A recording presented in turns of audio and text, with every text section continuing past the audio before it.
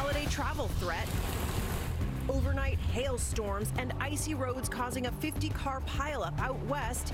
Now the new storm set to wreak havoc coast to coast as a record number of Americans get ready to travel. Rob has the latest track and timing. Warning to the White House. On the final day of hearings, the Russian expert who sounds the alarm, testifying that the president and his allies are pushing conspiracy theories straight from Putin's playbook. In the course of this investigation, I would ask that you please not promote politically driven falsehoods that so clearly advance Russian interests. All of this as President Trump rallies Republicans for the next phase of the impeachment showdown. Protecting the professor. Outrage growing after a major university refuses to fire a teacher accused of sending racist, sexist, and homophobic tweets, claiming he's protected by the First Amendment. Now he's speaking out on GMA. Vacation nightmare. An American couple claims they're being held against their will at a hospital in Mexico after getting ill on a cruise. Their fight to be freed right now. Victoria's Secret shakeup, why the company is putting an end to their famous fashion show.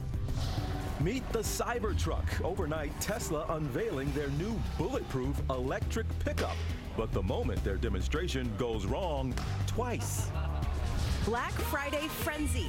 The deals that just dropped at midnight a week ahead of the shopping holiday. How to know what you should buy right now. Live in Times Square, this is Good Morning America.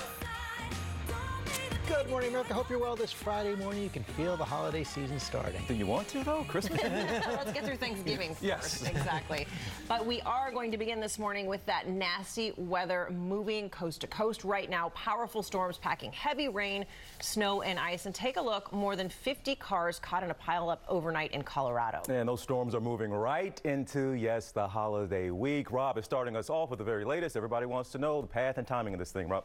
Oh, a very active pattern shaping up, TJ. And this is that scene outside of Denver along I-25, 50 car pilot. This was a mixture of freezing rain and snow. There were some injuries with this, but nothing life-threatening, thank goodness. A lot of people are starting their holiday travel this week, and this storm in the west is going to be moving towards the east quite rapidly over the weekend. So let's zoom into what's happening in the northeast, where it really will ramp up come Sunday. So with this will be a lot of heavy rain. You'll see it across the southeast, the mid-Atlantic as well. But come Sunday, we're looking at uh, heavy rain here along the I-95 corridor. So if you're traveling up I-87, I think you'll turn into some mountain snow in the Catskills, the Berkshires, maybe accumulating in the Green Mountains and the White Mountains of, uh, of interior New England, but heavy rain from New York up through New Haven and up to Boston. That is Sunday. But we look ahead towards next week, and a very active pattern is developing. Whenever you get the jet stream to dip down like it does this here in the west, that means a storm out in the west, cold rain there and snow, and another storm here. This is Thanksgiving Day in the middle of the country, and then this one heads towards the northeast by Sunday. Very active. George, over to you. Coming. Okay, Rob, thanks very much. To Washington now. And the latest on the impeachment showdown. As the White House braces for a likely Senate trial, one of the most compelling witnesses yet closed out two weeks of marathon hearings. Fiona Hill, who is the top Russia expert in the White House, slammed the president's pressure campaign on Ukraine, saying she predicted this is going to blow up. Senior congressional correspondent Mary Bruce is tracking it all from Capitol Hill. Good morning, Mary. Good morning, George. Well, Fiona Hill said it was her moral obligation to come before Congress. And in blunt testimony, she detailed how the president and his allies have undercut official foreign policy and warned that they are being driven by conspiracy theories pushed by the Russians. It was a dramatic end here to three days of high stakes hearings. The week's final witness, Fiona Hill, a former Russia expert on the National Security Council, came to Congress with a stark warning for Republicans. Some of you on this committee appear to believe that Russia and its security services did not conduct a campaign against our country, and that perhaps, somehow, for some reason, Ukraine did. This is a fictional narrative that has been perpetrated and propagated by the Russian security services themselves. I would ask that you please not promote politically driven falsehoods that so clearly advance Russian interests. Hill said Trump's personal attorney, Rudy Giuliani, was selling conspiracy theories straight from Putin's playbook and that Trump was buying it. Is it your understanding then that President Trump disregarded the advice of his senior officials about this theory and instead listened to Rudy Giuliani's views? That appears to be the case, yes. Hill detailed two competing channels of foreign policy that were often directly at odds. Republicans pressing her on a tense moment she had with Trump's point man in Ukraine, the EU ambassador Gordon Sondland. I was upset with him that he wasn't fully telling us about all of the meetings that he was having. And he said to me, But I'm briefing the president. I'm briefing Chief of Staff Mulvaney. I'm briefing Secretary Pompeo, and I've talked to Ambassador Bolton. He was being involved in a domestic political errand. and we were being involved in national security foreign policy, and those two things had just diverged. Hill explained how that domestic political errand later turned into a quid pro quo. That Sondland explained to her the Ukrainians would only get a coveted meeting with the president if they announced the investigations Trump was demanding. Also testifying, David Holmes, an American diplomat in Ukraine. He says he overheard the president himself on a phone call with Sondland discussing the Ukrainian president. I then heard President Trump ask, so he's going to do the investigation. Ambassador Sondland replied that he's going to do it. I have a clear recollection that these statements were made. Republicans tried to attack Hill's credibility. Dr. Hill, you have provided me probably the greatest uh, piece of, of, of, evidence that's before us to illustrate the problem with hearsay. But Hill pushed back. I've talked about things I heard with my own ears. We're here to relate to you what we heard, what we saw, and what we did. And to be of some help to all of you in really making a very momentous decision here. After more than 30 hours of public hearings, the president's allies say the impeachment inquiry is nothing more than a sham. I think the American people see through it. They see that the facts are on the president's side, and they know this process has been entirely unfair. But Democrats say the evidence is clear. The president abused his power. There is nothing more dangerous than an unethical president who believes they are above the law. We are better than that. Now, while the hearings were wrapping up here over at the White House, they are trying to keep Republicans in line and strategize what comes next. The president yesterday met with key Republicans, including Senator Mitt Romney, who has been one of his fiercest critics. And later, White House officials sat down with other Republicans, trying to, to come up with a game plan to tackle what they believe is a, a near certain trial in the Senate. So, Mary, let's look at what comes next. It appears that the Intelligence Committee has done this is it for public hearings. They're not going to call anybody else, most likely. So, this will go to the House Judiciary Committee Committee. They'll draft up the articles of impeachment after they get a report from the Intelligence Committee. That goes to the House floor. They're still hoping by the end of the year to vote on impeachment. And then comes that Senate trial you were just talking about. So take us inside the, the, the, the talks between the, the White House and Republicans on how they're thinking about this, how they plan to go forward with the trial. Well, George, there does seem to be a, a, little bit of a dispute here. Republicans seem divided over the best strategy, particularly when it comes to the timing here. Some are advocating for a short trial, perhaps as short as just two weeks. The argument there is that trying to limit the time may, may also limit the political damage to the president, while others are pushing for a longer, more drawn out process. That would give some of these key moderate Republicans a chance to show voters that they are taking this seriously. And, George, a longer process could put those Senate Democrats in a tricky position, those who are running for president because it could come up against those first early contests. Yeah, and George. the president is torn between wanting this over and wanting to have a full full defense mounted by those senators. Okay, Mary, thanks very much. Cecilia? Okay, George, there are also some new developments in the race for the White House this morning. Former New York City Mayor Michael Bloomberg has just taken a major step toward running for the Democratic presidential nomination. Linsey Davis has more from the Bloomberg Tower here in Midtown Manhattan. Good morning, Linsey. Hey, good morning to you, Cecilia. Okay, so here's the big announcement. The headline basically is that Michael Bloomberg is officially dipping his toe into the presidential waters. This is just a procedural move and not at all an official announcement. But by filing paperwork with the Federal Election Commission, it officially declares the former New York mayor a candidate for president of the United States, and it allows him to raise money for a run for the White House. But Bloomberg's people are telling ABC News this is just one step, not a final decision to run. Now, that said, Bloomberg has also filed to appear on the ballot in five states and is spending more than $100 million on ads and voter registration efforts in key states. Now, this all reportedly propelled by the billionaire's concerns about if the current frontrunners could actually defeat President Trump. Now, uh, a little bit of trivia for you this morning. I'm sure that George already knows this off the top of his head, but the last time that this apparent uh, strategy actually worked as far as bypassing the early contest and then going on to nab the nomination, 1968 with Hubert Humphrey. Says George. I, I, hadn't had that at the top of my head. I'm glad oh. you reminded me, Linsey. No, Thanks very much. Thank you, Linsey. We're going to go overseas now to Israel, where Prime Minister Benjamin Netanyahu has been indicted, facing bribery and fraud charges. He's trying to hold on to his job, claiming he's the victim of a coup attempt. And our foreign correspondent James Longman has the latest from London. Good morning, James. Yeah, that's right, George. Good morning. One of America's closest allies has been thrown into turmoil. Israeli Prime Minister Benjamin Netanyahu has now been formally charged with bribery, fraud, and breach of trust. He is the first ever sitting Israeli Prime Minister to face such charges, and the list of alleged wrongdoing is long and colourful. Pink champagne and cigars offered to him by a wealthy friend in return for political favours, and a quid pro quo relationship with a telecom tycoon in return for favourable news coverage. He's vowed to stay in office and using perhaps the language of his close ally Donald Trump. He's called the investigation a witch hunt, but the corruption allegations against him have bubbled for months, and the country's Attorney General has said the ruling shows no one is above the law. TJ? All right, Jay, thank you so much. And now we turn to a scare on a crowded passenger jet. An international flight forced to make an emergency landing just after takeoff because flames were shooting out of an engine. David Curley has the details. It's the terrifying moment this little girl and her family on board a Boeing jet heading from LA to the Philippines hears the loud bangs. Flames are erupting from the engine, all caught on camera. Mayday, Mayday, Mayday, Philippine 113. We have an engine surge on the right engine, requesting uh, immediate reland. People on the ground catching the dramatic moments as well. Philippine 113 Heavy Say again, again the uh, nature of the emergency, please. All right, engine, we have a surge on the right engine. Passengers say the engine had those bursts of flames on and off for 15 minutes before the Philippines Airlines flight landed safely back at LAX 45 minutes after takeoff. Firefighters there to meet the plane on the runway. I was just shaking, I was praying, I was panicking. The problem? This was a compressor stall. It's when the engine essentially backfires like a car. While it's not uncommon, it can be a harrowing experience for everyone on board. A bit frightening, actually. Philippine Airlines did not have a replacement aircraft, so it tried to book passengers on other airlines. Some had to stay in hotels.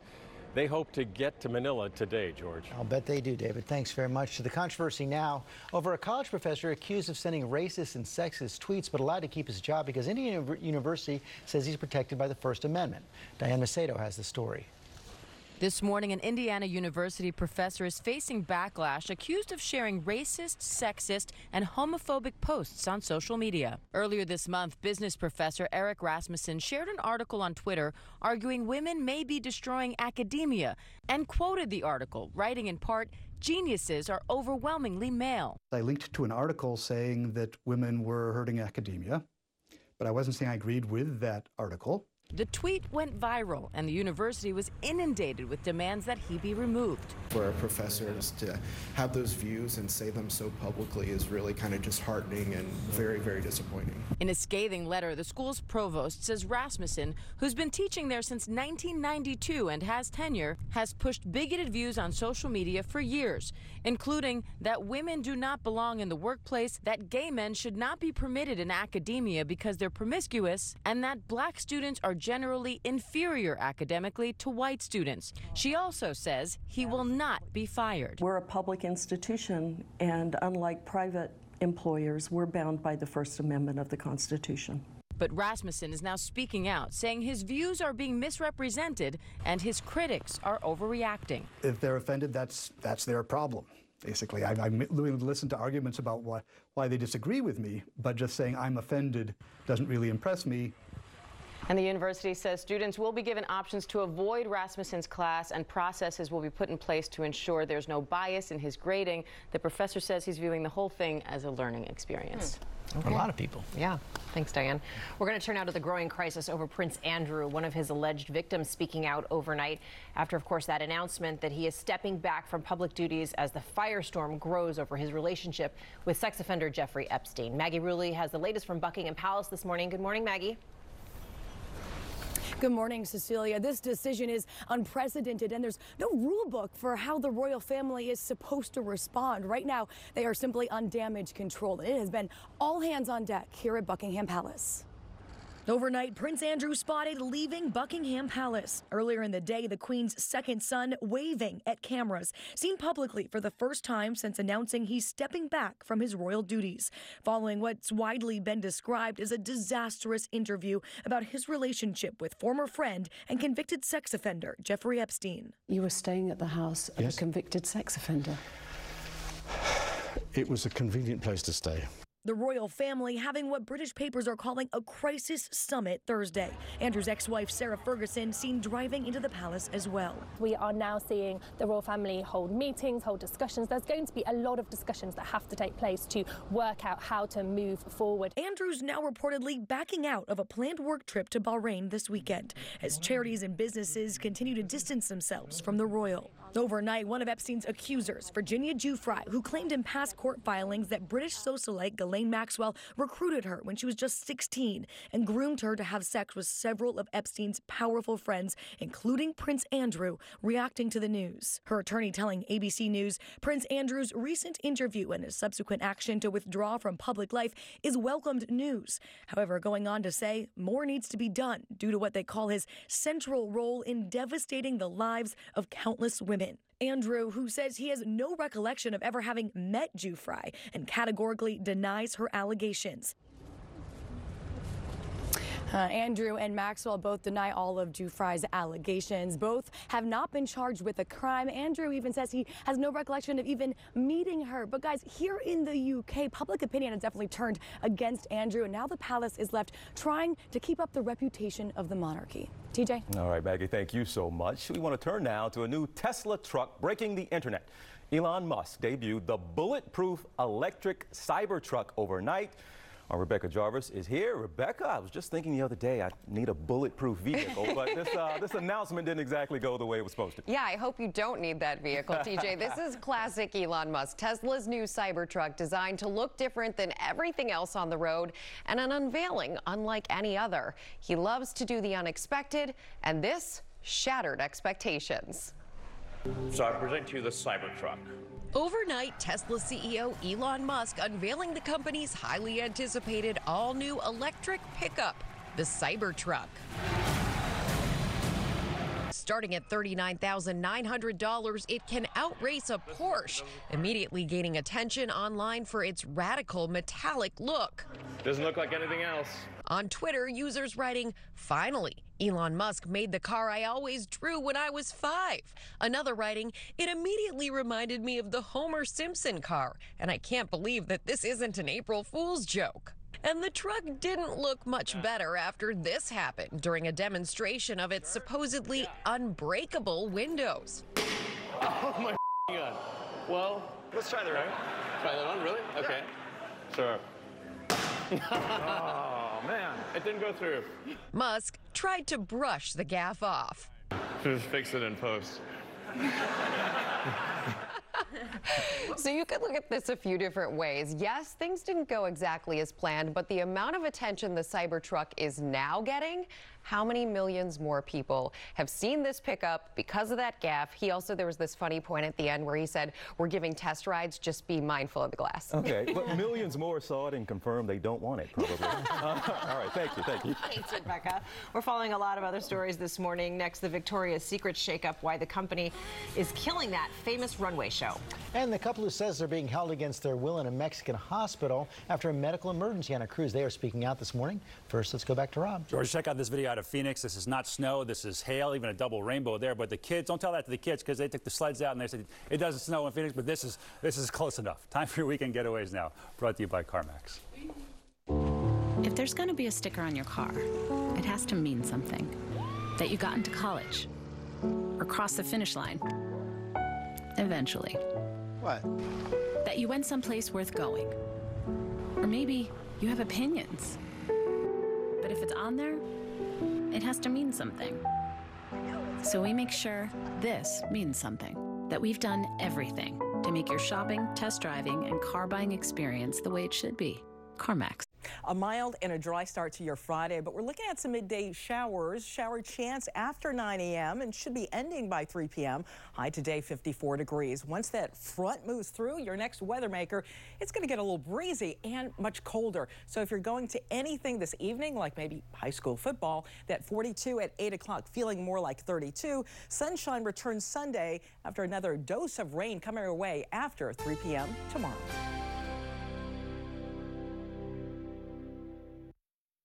They got us. We're still talking about the truck. The truck. You want one? No, it doesn't work. it breaks easily. Hi, I'm Jillian, and I have a confession to make. I may have been a little tough in my past. Down! Up! But now I've found my bubbly side.